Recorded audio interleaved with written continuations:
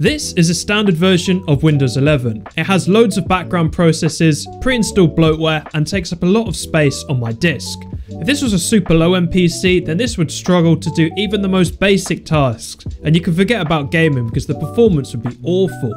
While you can optimize your Windows 11 experience, which I've done a lot of videos on, sometimes it's easier just to cut out the unnecessary features of Windows 11 without the risk of them coming back in a later update.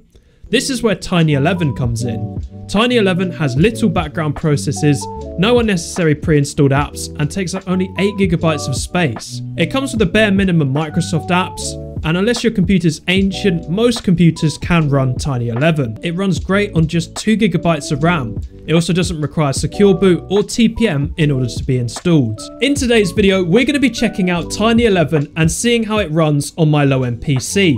We're going to be installing it, putting it through its paces, doing a bit of gaming on there, and seeing if it's worth the upgrades. If you guys are new around here, make sure to leave a like on the video and subscribe down below. And yeah, without further ado, let's get into the video. Alright, so to install Tiny 11, you need to go ahead and get it from their website. I'll leave a link to this in the description down below.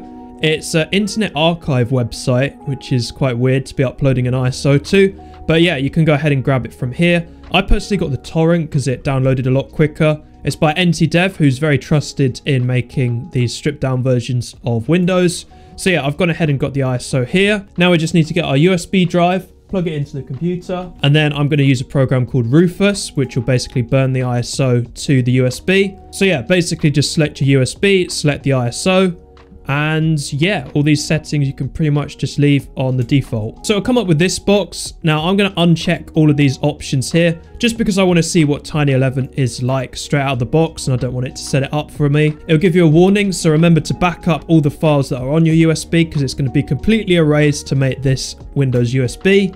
And yeah, just leave it to do its thing and I'll be back once it's done. All right, so the USB finished and I've just plugged it into my computer and it's just installing Windows. It's pretty much just like installing Windows 11 for the first time. It's pretty standard. There's nothing really new. So yeah, I'll be back once it's installed. Right, so here we are in the Tiny 11 setup. So, so far it's pretty much just been like a regular Windows 11 install. So be interesting to see what's kind of cut out from the installer.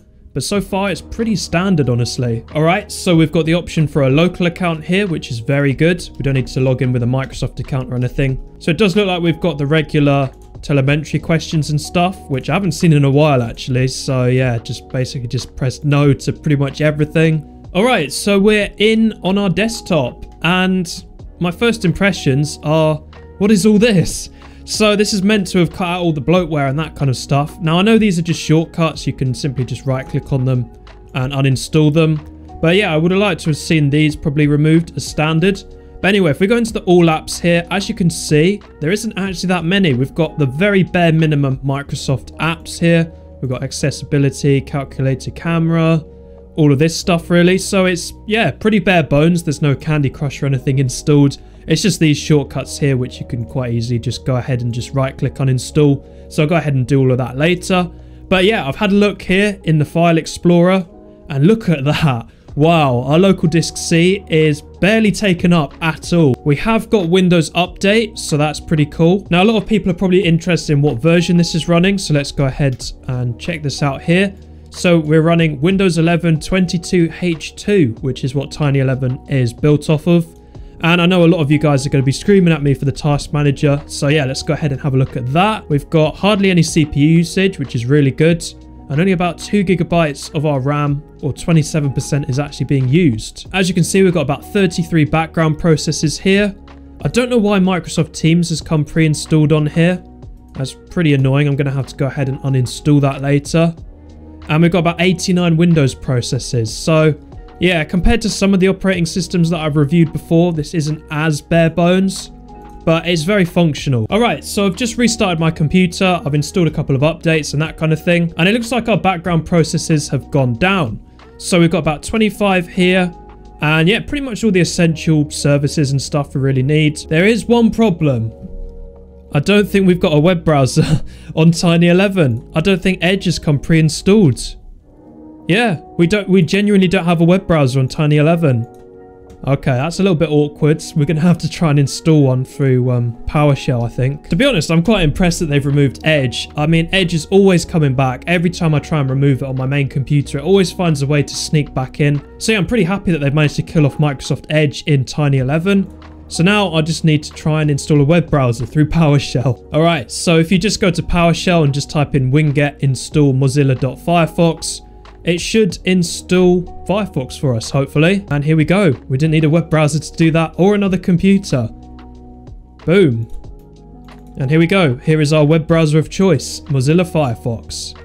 So yeah, overall, I'm pretty impressed with Tiny 11. It's functional, it doesn't leave a big footprint on my drive, and for a low-end PC, this could be really good. Now, there was another version of Tiny 11 that I was going to check out, but this version came out, and this one's getting a lot more attention. It's made by a more trusted person.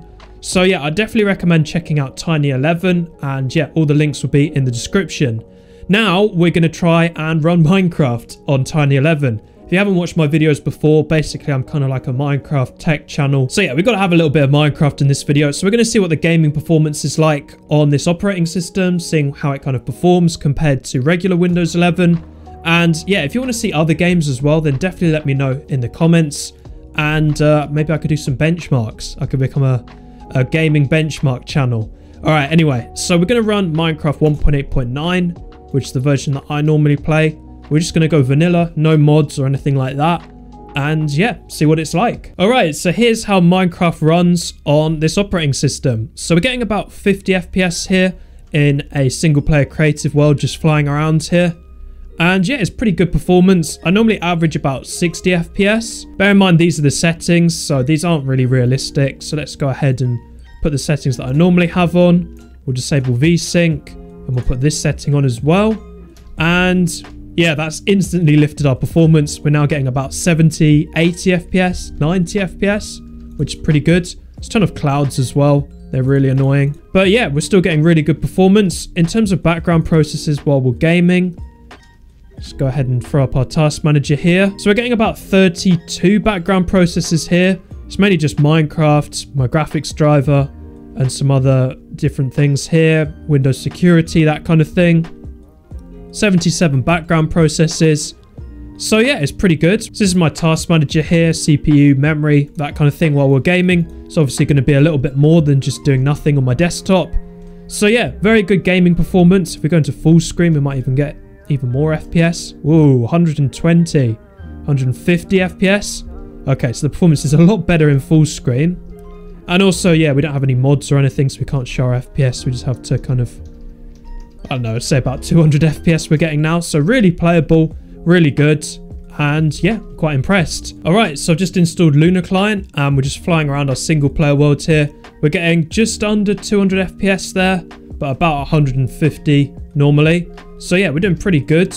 I think we could probably turn off our smooth lighting and get even more FPS. Let's just try and go the, for the maximum FPS possible. And yeah, I mean, the performance is really good. I'm quite happy with Lunar Client and it feels a lot smoother. I can definitely play with this now.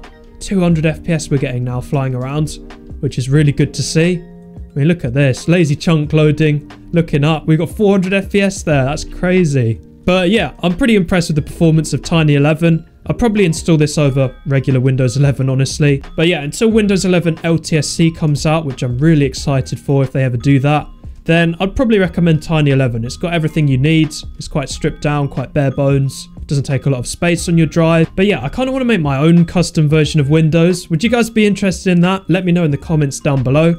I had to find a developer for it because obviously I have no idea what I'm doing. But I have an idea in mind of what I want. And if I can find someone that could make it happen, then uh, that would definitely be cool. We could call it Notro OS. Could get all you people running it. It'd be really cool. So let me know if you want me to try and get that sorted in the comments down below. I'm kind of excited. I can kind of picture it in my head, but I'm not going to give too much away. And speaking of uh, Notro stuff, Notro client, I'm going to probably leave the link to the Discord in the description.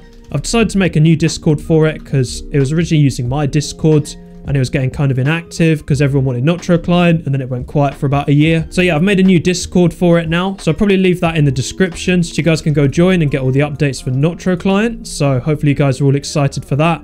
That's definitely going to be happening this year. So uh, yeah, hopefully you guys are all hyped for that. So also my PvP tournament, that's going to be happening very soon.